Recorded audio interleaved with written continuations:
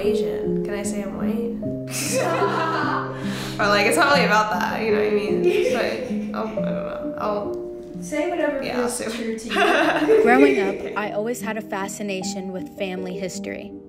When I started this project, I felt that my mom's side of the family was too shrouded in mystery to do this project on them. So I turned to other people. My grandpa served in World War II in the military. He was actually um, serving in Europe as General Eisenhower's personal driver in the military. After my mom was about five and her older siblings were like eight or nine, that they're like, we're gonna move to America. And it was it's kind of history from there. How open is my family about their history? Very open. I mean, my family opened up a restaurant for their culture and for their people. So I'm just, I feel like very, it's very loud and proud. She will tell me anything and everything about our family's history. There's just honestly like we're kind of boring, but. well, let's start with this. Ooh, CVS, yes. So this is my mom when she was um, in high school, and she's wearing a traditional Vietnamese dress. It's called an áo dài. Um, this picture was taken somewhere in Port of Spain, in Trinidad, which is like the city. Let me think about this.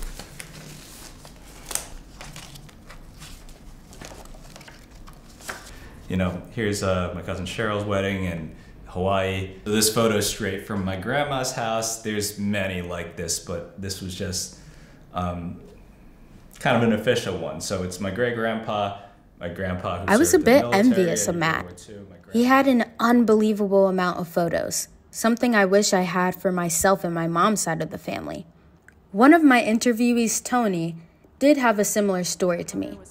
Tony's grandma was more reserved when it came to sharing and telling stories about their family. Um, she, her family was like, um, like really emotionally abusive towards her.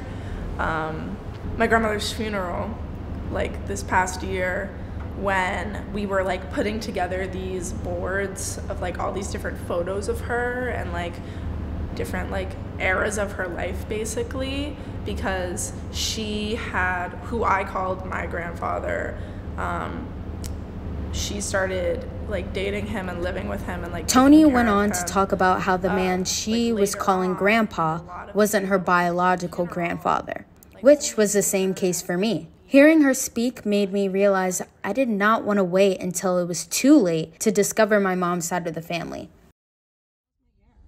Mommy, no, you're not even in it like that. You Look at my hair, so beautiful. Your hair is so beautiful. First of all, I don't know where she lives. Do you know where she lives?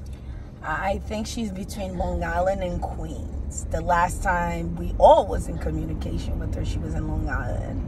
She told me years ago that her mom totally disassociated herself from the family and got rid of any trace of us like photos or heirlooms. She doesn't mess with somebody, she doesn't mess with everybody. And everybody needs to do the same thing too. So, like when you're raised Caribbean in certain aspect, uh, we just built a little different. You guys, you are you saying I'm soft because I'm American? No, you're not soft. Now that I'm older, like she can come see me. You know what or I mean? Just me or you could go see her. Yeah. Well, that's what I want to do. And I just realized she hasn't even met Luca. No, she haven't even met Luca. And Luca, how do you family. feel about that? I feel so surprised already.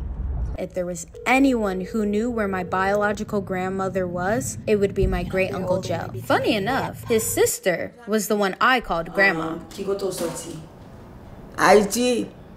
Okay. Mm. Um, do you have any siblings? No, mbage fwe, mbage se.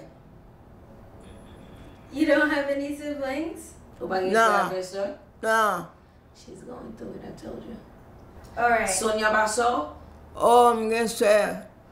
E, e, e, me yu avek? Djo, fwe, mge se mge fwe.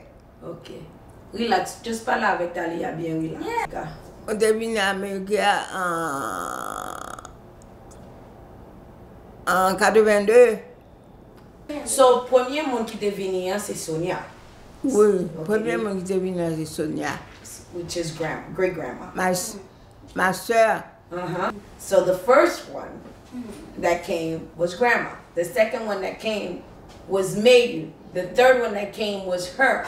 The fourth one that came was Joe. Sonia passed away before I was born, but the other three siblings remain the elders of my mom's side of the family. Joe is the only one that speaks to his niece, my biological grandma, Carol. Mla papi, mla papi. So, ki jan ye? Ok, good. So, Talia, um, ou konen lap travay nan, nan bagay film nan, e pi lap fon dokumenter.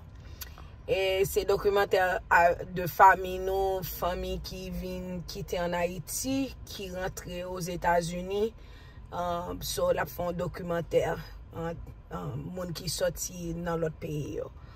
Um, But, li te vle interview ou mem, li te vle interview mamam. De sa, e ben papi va regle sa, e ben mem la jounou jen ka pala avek mamam, pasen mwen komunikasyon avek mamam. Wait, but she, but he can't, but he can't say the whole like documentary thing. Oh, ok, So no. kounya, papi li di kon sa ke ou pa bezwen dil de, de, de dokumenter lan. Li di kon sa li bezwen akse pou l'pale avek gomel. That's it. Si, we. Li pa, li di, li pa bezwen de film nan, but li just bezwen akse pou l'pale avek gomel. That's it. Mm -hmm. Oui. He said... Map voye numero telefon nan pou koun. Map voye telefon. He asked what's your number. Oh, yeah. Um, Mom, I'm, I'm gonna send it. Okay, oh, yeah. Map voye numero telefon nan pou. He said, Talia didn't ask for me and didn't send me no I had money. no idea when or if my grandma would give me a call. So I continued business as usual. Blood is thicker than water.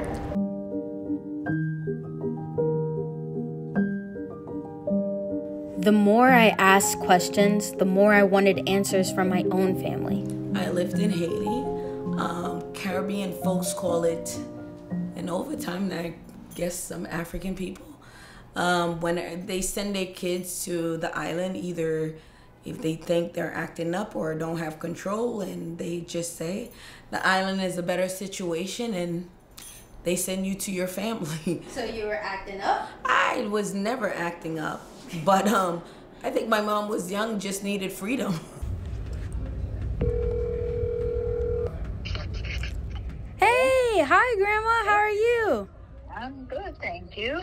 How are you? Good, good. Um, I'm at NYU now, so um, I'm very close. Nice. Yeah, and I'm studying film, film and TV. So, and I'm doing a minor in business though.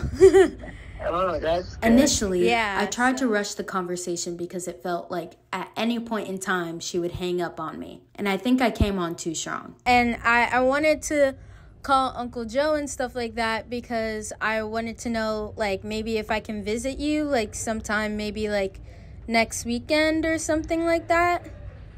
Mm, not next weekend. not next weekend? Not next weekend, no. Um, I will let you know. You get safe? Uh, uh, no, uh, not yet. You did not yet. Okay. There's a lot of things when you don't get safe, you don't, you miss. Oh. That means you're not, you're not in the, you're not in God territory. When you're in the devil territory, he, you know, he just mess people up. Not to say my grandma wasn't interested in the conversation before. I think she was just more invested in giving me advice. At a certain point, it kind of felt like we were on the same call, but not really connecting. After the call, I contemplated showing my mom, mainly because I felt the call was a fail of our mission. I don't even, I don't have any pictures, which is the sad part, which I cried for.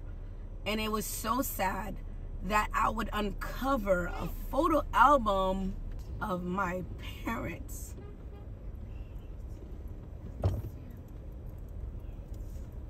Over a f- over a friend's house that they say, "Hey, I saved this for you," and what you know that I just got it probably two, three years ago. I should have access.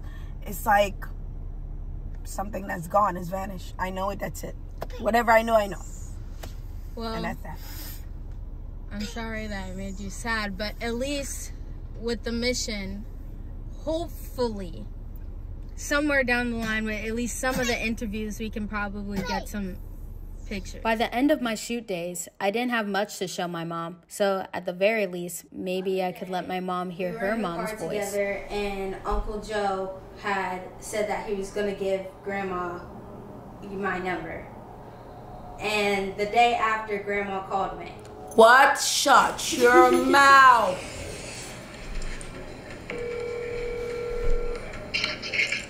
So hey, you called me. Hi, Grandma. How are you? I called her back. I'm good, thank you. Um, I I had a question for you. Um, for like my school project. Um, I'm talking to people whose families came from different countries and stuff like that, and I wanted to know like why our family came to America. My mother bring me here. Mm. Because if it wasn't for that, but he she, she came to America because everybody looking for a, better opportunity. Mm. And I consider that as a blessing because since I'm here, I am blessed. I, you know, I got some ups and downs. That's fine because life is about that.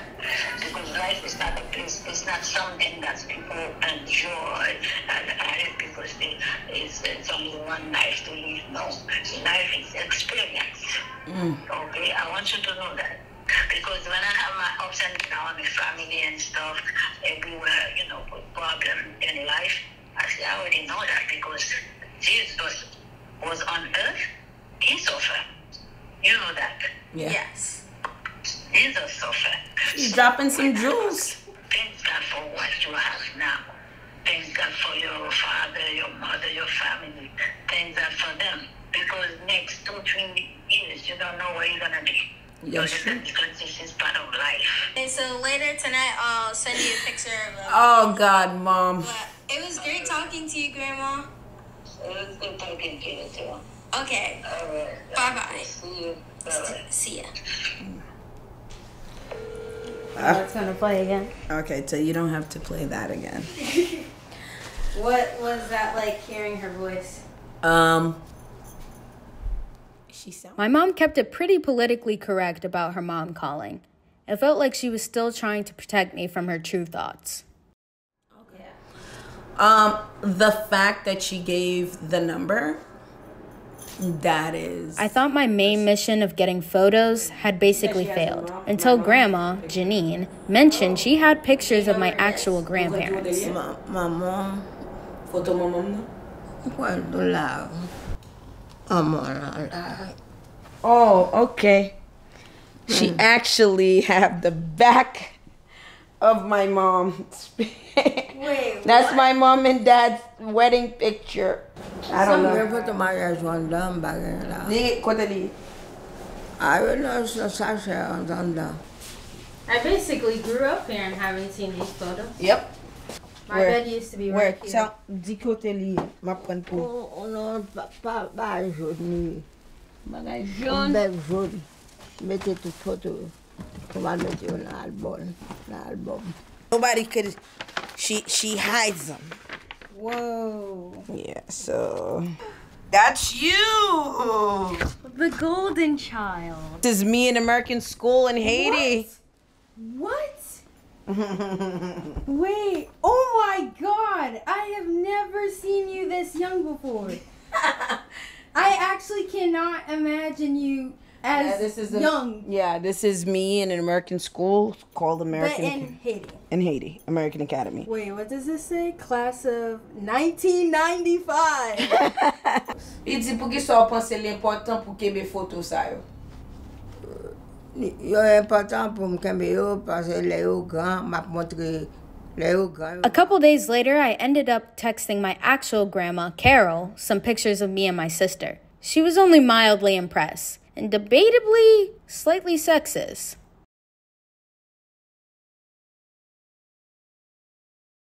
Eh, I could teach my grandma about unisex names on a different occasion.